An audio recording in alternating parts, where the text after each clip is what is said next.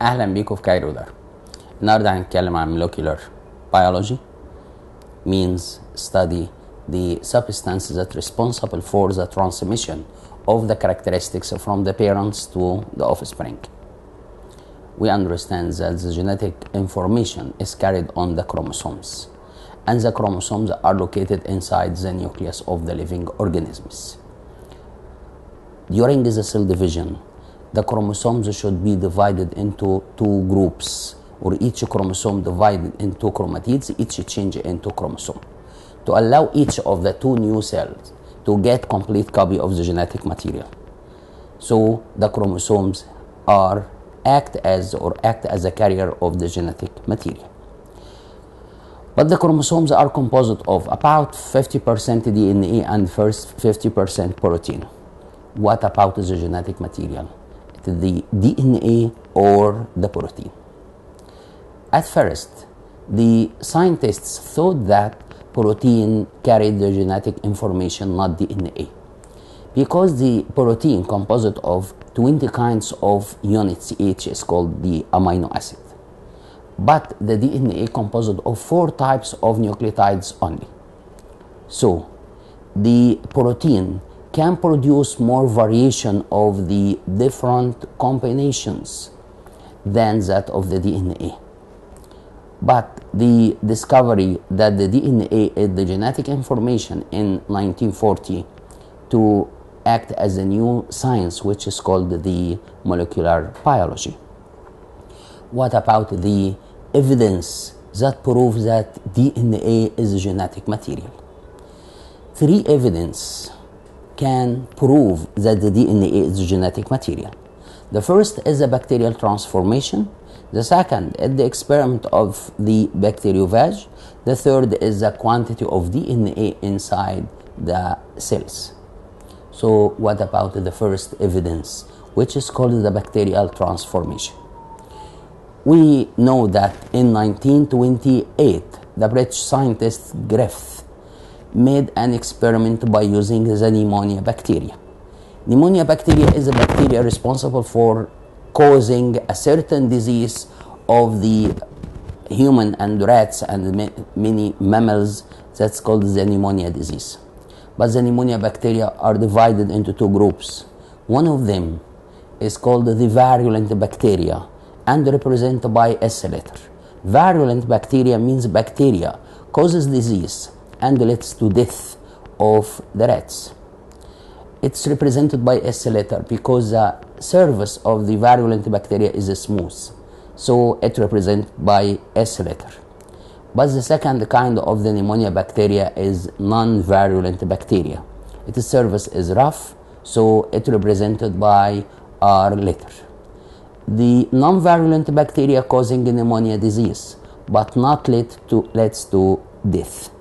So Griffith explains that two kinds of pneumonia bacteria cause, cause the pneumonia disease. One of them is virulent, leads to death, but the second is non-virulent bacteria. When Griffith injected the mice with the heated killed virulent bacteria S, it doesn't cause the disease and the rats not die. But if the rats are injected by the living R bacteria or non-virulent bacteria, that causes disease and also rats are not die. But when the rats are injected by mixture of living non-virulent bacteria R with the dead or killed virulent bacteria S by piling, some of the rats die. During the examination of the dead rats, Griffith discovered the presence of living virulent bacteria S inside the dead rats. That means the non-virulent bacteria R can use the genetic material of the dead virulent bacteria S and change or transfer to the living virulent bacteria. So that's act as a, or that's called the bacterial transformation. means the transformation of the bacteria from the strand R into the strand S by using the genetic material of the virulent bacteria. Griffith explains that may the living, living non-virulent bacteria are use the genetic material of the dead or killed virulent bacteria S so that leads to the bacterial transformation of or transforming the R bacteria into S living S bacteria by using the genetic material of the virulent bacteria. Avery can isolate the genetic material of the virulent bacteria S. That means if the genetic material which is isolated by Avery added to the living R bacteria, the R bacteria can use the genetic material of the virulent bacteria and change into virulent bacteria. That means the transformation takes place.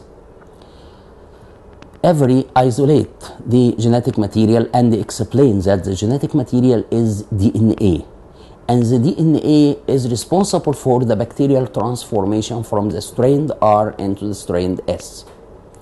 But the scientists explain that may the isolated bacteria by Avery containing the living uh, which containing the DNA which is which is a genetic material of the virulent bacteria and also may containing impurities of protein which may act as a genetic material.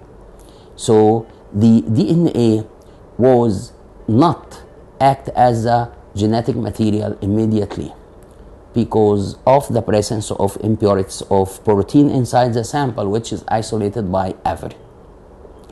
But the, the crucial experiment explains that when the deoxyribonuclease enzyme, which act as an enzyme causing a complete hydrolysis of DNA, but not affect the protein or RNA, when the isolated material by Avery is treated by the deoxyribonuclease enzyme, the bacterial transformation stop. That means the absence of DNA causing the absence of the transformation of the bacteria R to S. So that act as evidence to prove that the, the genetic material of the virulent and the non-virulent bacteria is the DNA, not as a protein. So that act as a as a first evidence that prove that the DNA, not the protein, is a genetic material. But what about the second evidence? The second evidence depends on a certain type of virus which is called the bacteriophage. The bacteriophage is a molecule of DNA inside a protein coat. The coat extended like a tail which attached the bacterium cell wall to fix itself on the bacterium wall. DNA containing the phosphorus where the protein don't containing phosphorus but containing the, uh, uh, the protein containing the sulfur.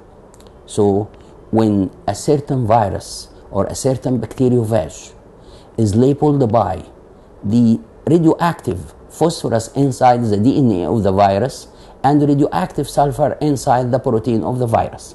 That means Hershey and Chase make a virus containing radioactive uh, phosphorus inside its DNA and radioactive sulfur inside the protein and allow the virus to infect the bacterium cell to explain which is the, which is the substance which you get inside the bacterium cell. If the radioactive phosphorus get inside the bacterium cell, that means the DNA is a genetic material. But if the radioactive sulfur which forms a protein get inside the bacterium cell, that may explain that the protein is a genetic material. But what about the experiment? We understand that when the virus infects the bacterium cell, fixes itself on the bacterium cell, and injects the genetic material inside the bacterium cell. After four minutes, the injection takes place. But after 15 minutes, the duplication or the formation of the protein coat is formed inside the bacterium cell. After 20 minutes, duplication of the genetic material of the virus takes place. But at the 28 minutes, the genetic material of the virus get inside the bacterium coat. But during or after 32 minutes, rupture of the bacterium cell takes place and about 100 complete virus get out or released from the bacterium cell. When the virus is labeled with the radioactive phosphorus inside the DNA and radioactive sulfur inside the uh, uh, protein and allow the virus to infect the bacterium cell. What about the observation? The observation that the radioactive phosphorus entered inside the bacterium cell, but less than 3% of the impurities of protein may get inside the bacterium cell. That means the radioactive phosphorus or the all the amount of the DNA get inside the bacterium cell but not the protein. So the conclusion, the genetic material of the bacteria and the phage is the DNA, not the protein. If the genetic material and the protein may the radioactive sulfur get inside the bacterium cell, not radioactive phosphorus.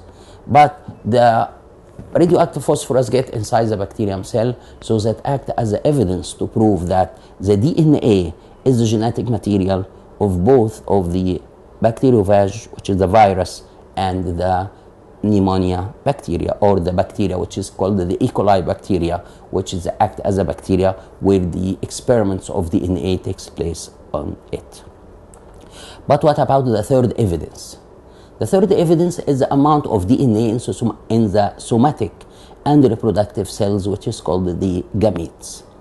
If you compare between the somatic cell and the gamete at the egg of the bird, during the comparison between them, we can explain that the amount of the somatic cell of the bird and the amount the amount of DNA inside the somatic cell of the bird and the amount of DNA inside the gamete, we will observe that the genetic material or the DNA similar in both in uh, the amount of the DNA in the somatic cell double that than that of the uh, DNA inside the uh, gamete. But the amount of protein may increase or decrease. The ovum or the egg of the bird containing amount of protein greater than that of the somatic cell but the amount of DNA in all gametes of the living organisms have the amount of protein inside their somatic cells. If all living cells containing the somatic cells with the amount of DNA double than that of the DNA inside the gamete, that may explain that the DNA is the half amount inside the gamete because we understand that the gamete containing haploid number of chromosomes or half amount of DNA or half amount of the genetic material. Because during the fusion of the male and the female gamete, the zygote which is formed 2N. But if you compare between two somatic cells in the same living organism or the same species, we will explain that the amount of protein is differ in different kinds of the somatic cells. But the amount of DNA similar in all the somatic cells. But what about the made and the destroy of the DNA and protein inside the same cell?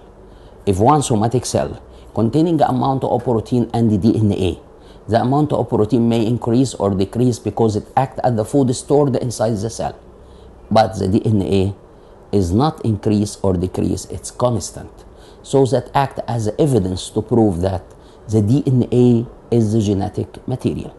First, you can compare between somatic cell and gamete.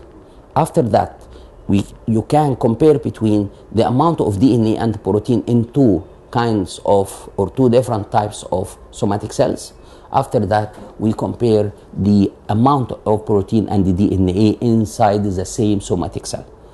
That will prove that the amount of DNA in all living or in all living cells in the same soma- in the same species. The somatic cells a similar amount of DNA but differ in the amount of protein. But in gametes, the gamete of the same species containing half amount of DNA, but the amount of protein may increase or decrease according to the kind of the gamete.